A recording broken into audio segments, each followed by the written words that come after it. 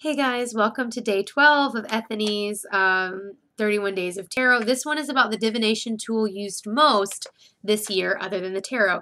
I have to say mine is the Lenormand or Lenormand. This is my favorite deck. Um, it is the unlaminated paper deck that's like $8 on Amazon. I bought three of them this year. And this is an Altoids tin that it fits inside.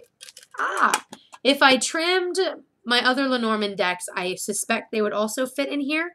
Um, anyway, I love how super tiny these are. I'm thinking about trimming both of my Lenormand decks. I'm going to sleep on it, of course, um, for a little while before I do it. Uh, this has to be my favorite deck for the imagery, not necessarily for the quality of the cardstock. It's paper. It's like card. It's like very thin cardboard paper. Uh, they don't have any bounce back, any sheen. They are not glossed at all.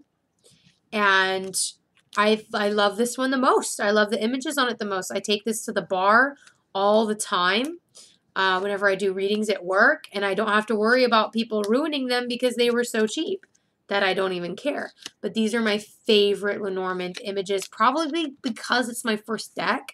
Uh, I think we all fall in love with the images on our first Lenormand deck. There's just something about them. A very close second and a must-have, in my opinion, in a Lenormand collection if you do readings for a vast variety and diverse group of people is to have a Lenormand deck like the Bluebird that comes with 38 cards because a standard Lenormand comes with um, 32, I mean 36. So why would it come with 33? What are those extra cards about? What, what makes them so special? They are extra gentleman and lady cards. So these are the original gentleman and lady cards. These are the extras. Because a lot of people make the mistake when reading Lenormand of using, instead of using the female lady as, you know, a, let's say that this male querent, this is our male querent, and he has a male partner. Some people will make the mistake of not using the lady but using the rider or the cavalier or whatever you want to call him.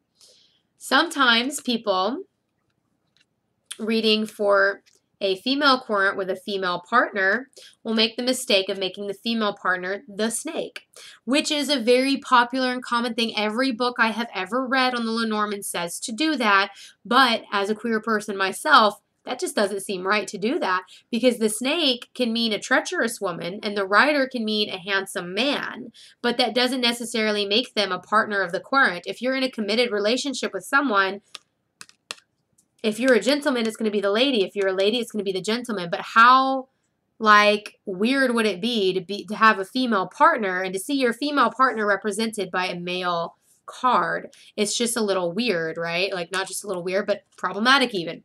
Well, that's where these extra cards come in. They both look at each other. They can both see each other. I know that if I have a querent who has who is in a homosexual relationship, I can give that querent the cards that fit and are going to make this reading much more comfortable and, in my opinion, much more accurate and inclusive. So, a deck like this is really a must have. Um, and I just, I'm going to ramble a little bit more. I just feel like that's lacking in a bit of the Kipper decks. I really wish more of the Kipper decks had um, those. But the thing about Kipper is that, especially since they are originally German, the the cards are represented by a man and a woman. I'm not going to pull them out. Actually, that'd be a hassle. The um, the lady and gentleman cards are not lady and gentleman. They are Hauptperson eins, Hauptperson zwei. It is pictured man and lady, but the title is main person one, main person two. The names are, you know, genderless, but the pictures depicting them are gendered. So there's a back and forth, I think, in the Kipper community on whether or not to do the cards um, like the Bluebird Lenormand does them. But also in Kipper, you have more than just one um, heterosexual pairing of cards. You actually have three sets instead of one set because um, you have rich girl, rich boy, and then you have um, good lady and good sir, good sir and good lady. Uh, and those are older people. So it's like, wow, should we do like the extra extra cards for every single one of these or just for the ones? And you're like i don't know. Ah let's just not do anything right? Um yeah i've been dabbling in kipper but i wouldn't say i used it um, that often but i do enjoy kipper. Um, Moving on with more Lenormand, we have the Maybe Lenormand, which has 52 cards. Now, this does not come with extra lady and gentleman cards, unfortunately, but it uh, does go up to 52 instead of 36, which makes it very interesting. This is what makes um, the difference between a petite Lenormand and a grand Lenormand, because a petite Lenormand has 36 and the grand has anything more than 36. I've seen some that have like uh, 42 or 48 or something like that. And then we have some that are all the way up to 52. So it's basically anything more than 36 makes it a Grand Lenormand.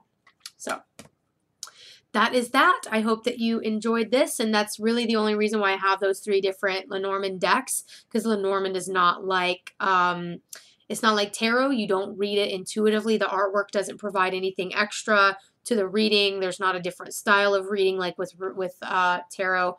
With tarot, you can read it Rider-Waite, Marseille style, like Marseille Pip style, uh, freestyle, or Thoth style, and I'm sure there's even more than just that. But with the Lenormand,